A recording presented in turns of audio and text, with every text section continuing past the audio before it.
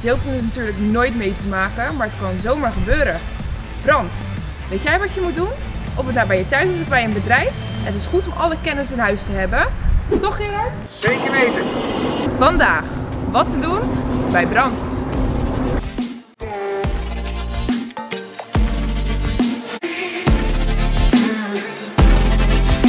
Gerard, Ja. vertel eens, wat zijn de meest voorkomende oorzaken van brand? Ja, dat heb je verschillend in kantoren en dat heb je natuurlijk thuis. Thuis bijvoorbeeld de cv-ketel, een hele bekende, of koken met gas, elektrische apparaten of die adaptertjes die je lekker in laat zitten.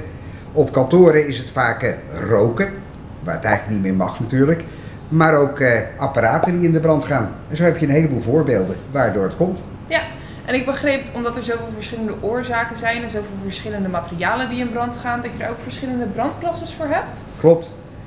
Eh, op iedere blusser staat voor welke blussoort ze geschikt zijn.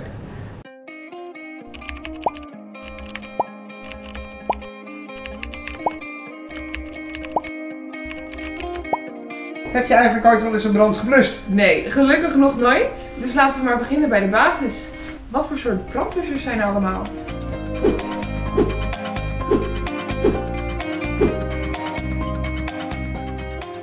Nou Merel, dan is eh, de beurt aan jou. Probeer met de brandslang in eerste instantie, maar zonder dat ik wat vertel, de brand voor je te gaan blussen. Oké, en hier zit water in. Daar zit water in. Oké, nou dat moet, eh, Dat moet lukken, hè? denk ik.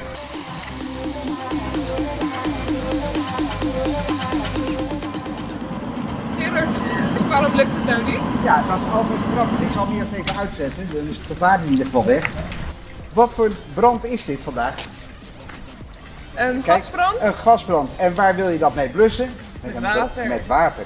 En is die geschikt voor brandklasse C, wat gas is? Nee. Nee, hij is alleen geschikt voor klasse A. Dus je ziet een verkeerde brandklasse blusser, krijg je het vuur niet uit. Maar met wat voor blusser gaat het dan wel uit?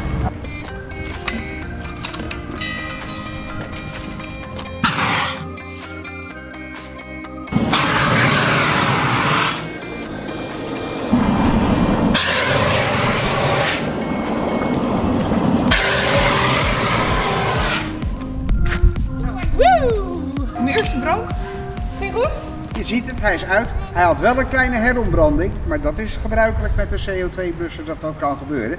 Maar je had geen paniek, je begon opnieuw en dan is hij wel uit. Top. Hartstikke goed gedaan. Dankjewel. Merel, heb je eigenlijk een bucketlist? Ik heb wel wat dingen op mijn bucketlist staan. Oké, zullen we er vandaag eentje aan toevoegen? Tuurlijk. Namelijk het blussen van 400 volt. Deze roldeur werkt Ja. op stroom. 400 volt, kijk maar, hij doet het ook echt. En nu mag jij hem proberen te blussen. Hoe doe je dat? Met CO2. Op 10 centimeter afstand eronder. 2 seconden vol gas. Nou, laten we doen. Ga je gang.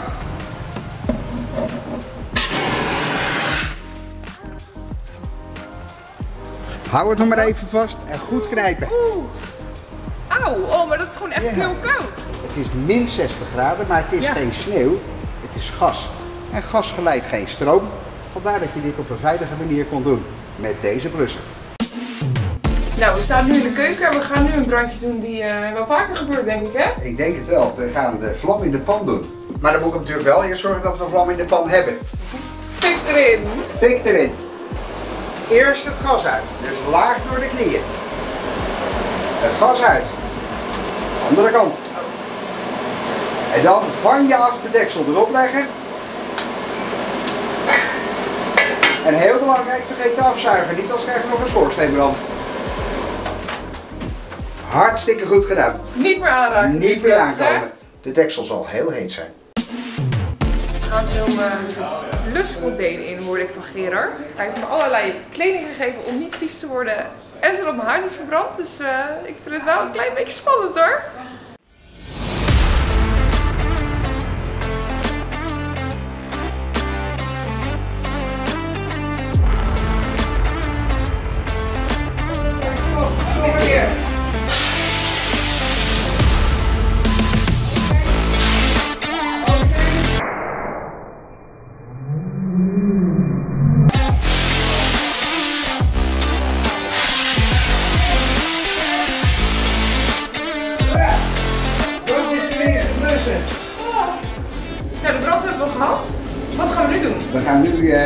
Kantoor in. De hitteproef heb je gehad. We gaan de pc die in de hoek staat aansteken. Ja. Dat betekent dat we er ook rook in gaan blazen. En daarna gaan we kijken wat de rook met de vlammen doet. Oké. Dan krijg je een totaal overzicht. Op een gegeven moment moet je er ook met je gezicht wel in. En zul je niet kunnen zien, dat komt steeds vaker.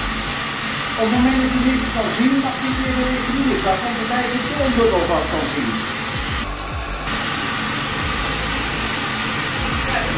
Je ziet het wel met een wil, hè?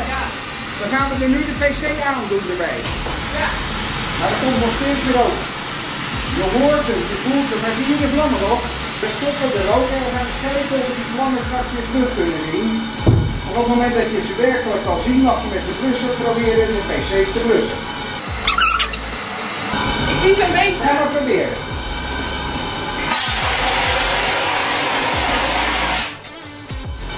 En keurig, hij is uit.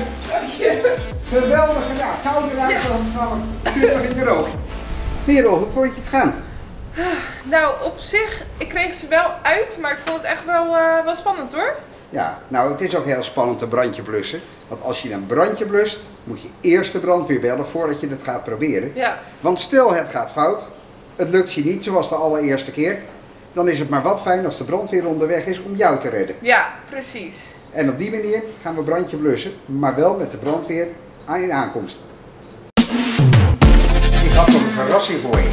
En dat is eh, deze persoon, die gaat in de brand en die gaan we zo meteen blussen.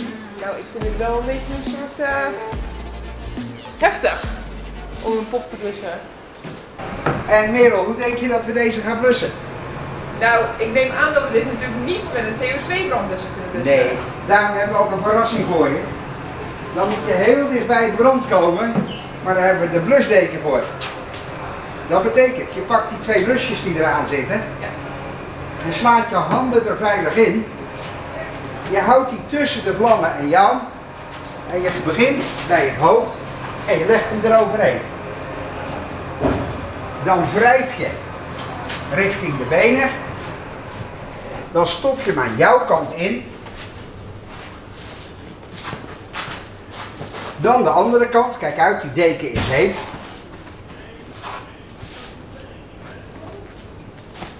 En nu hoop je dat de zuurstof opgaat en de vlammen uit zijn. Wel, hou die doek, ja, daarom, hou die doek tussen jou en de vlammen in. Altijd. Oké, daar gaan we. En begin bij de hals. Alleen maar naar die benen. Het is heet. Ja, dat wordt heet. En nu ga je het aan jouw kant instoppen. Denk je dat de vlammen niet uit zijn? Net zag je de vlammen door de deken heen. Ja, nu niet meer, toch? En moet de deken er nu af of op? Nu moet hij eraf. Om het slachtoffer te gaan koelen, want die heeft brandwonden. Maar wel veilig, dus je begint bij de benen. Zie je vlammen, kan je terugleggen. Hartstikke goed gedaan. Sterkte!